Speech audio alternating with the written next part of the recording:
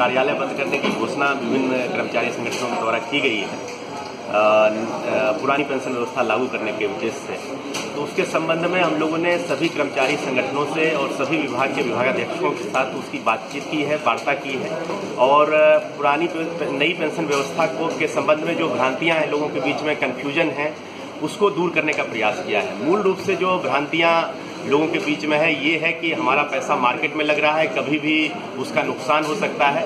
तो इसके संबंध में ये व्यवस्था है कि 86 परसेंट पैसा जो हमारा कटौती होता है, वो सेफ़ जगहों पे, सेफ़ इन्वेस्टमेंट में लगाया जाता है और 14 परसेंट ही जो है मार्केट में एक्सपोज किया जाता है। और मार्केट जब अच्छा रहता है तो जो अच्छा रिटर्न मिलता है, वो भी कर्मचारियों को ही उसका फ़ायदा मिलता है।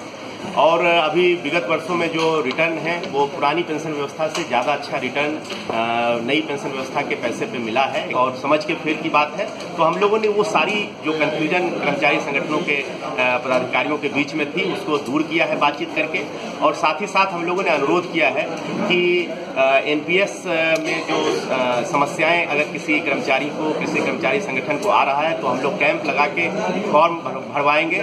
और किसी तरह की समस्या नहीं आने देंगे। सर अगर कार्यालय भी बंद ना हो इसके लिए भी हम लोगों ने अपील किया है। हमारी जो आवश्यक सेवाएँ हैं किसी तरीके से प्रभावित ना हो हड़ताल के माध्यम से इसके लिए भी जो है कर्मचारी संगठनों से हमने अनुरोध किया है और उनका आश्वासन भी हमें मिला।